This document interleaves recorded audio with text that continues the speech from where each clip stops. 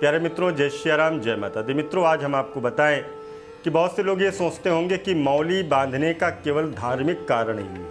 नहीं, ऐसा बिल्कुल नहीं है।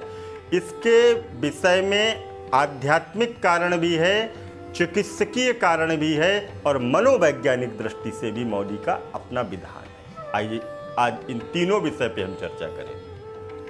आध्यात्मिक कारण। शास्त्रों का ऐसा मत है कि मौली बांधने से त्रिदेव, अर्थात ब्रह्मा विष्णु महेश, त्रिदेवियाँ, अर्थात लक्ष्मी, सरस्वती और पार्वती की कृपा प्राप्त होती है। और ब्रह्मा की कृपा से कीर्ति प्राप्ति होती है, विष्णु की कृपा से रक्षा होती है और शिव की कृपा से दुर्गुणों का नाश होता है। इसी प्रकार लक्ष्मी की कृपा से धन प्राप्त होता है, दुर्गा की कृपा से शक्ति प्राप्त होती है और सरस्वती की कृपा से बुद्धि प्राप्त होती है। चिकित्सीय भाव। जी हाँ मित्रों, शरीर के विज्ञान के अनुसार त्रिदोष अर्थात बात, पित्त कप का संतुलन बना रहता है। पुराने वैद्य और घर के जो बड़े बुज़ुर्ग हुआ करते थे, वह हाथ में, कमर में, गले में और पैर के अंगूठे में मौली का धागा बाँध दिया करते थे।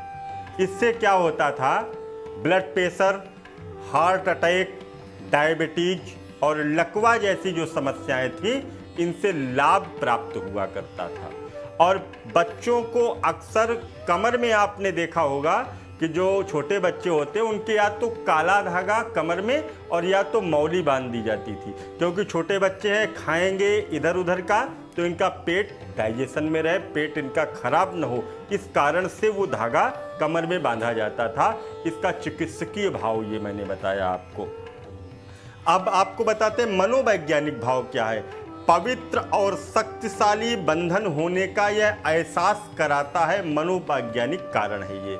इसमें मन के अंदर जो है, ये शांति होती है, मन पवित्रता, मन के अंदर पवित्रता बनी रहती है। व्यक्ति के मन और मस्तिष्क के अंदर बुरे विचार उत्पन्न नहीं होते हैं।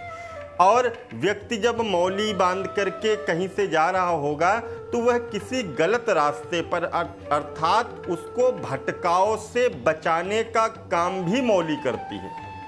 कई मौके पर गलत व्यक्ति गलत लोगों के संगत में आ जाते हैं और मौली बाँध रखी है तो गलत संगति में जाने से भी बचता है।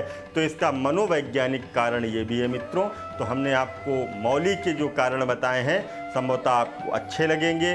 कमेंट करें मैसेज करें, बात करें, अन्य वीडियो के लिए हमारे चैनल को देखते रहें, नए वीडियो प्राप्त करना चाहते हैं तो सब्सक्राइब करना बिल्कुल ना भूलें। फिर मिलते हैं नए वीडियो में, तब तक के लिए दीजिए इजाज़त। जय माता दी, जय माँ